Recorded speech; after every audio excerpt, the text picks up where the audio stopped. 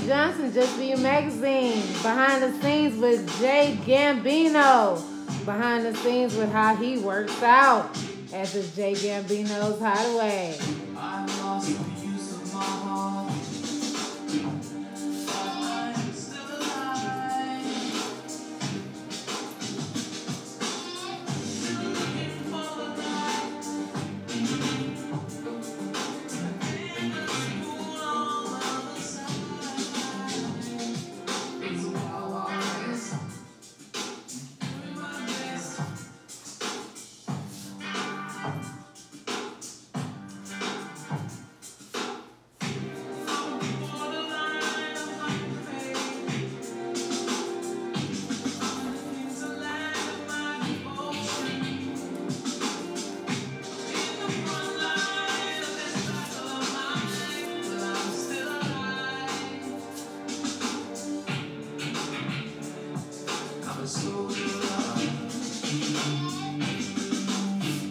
All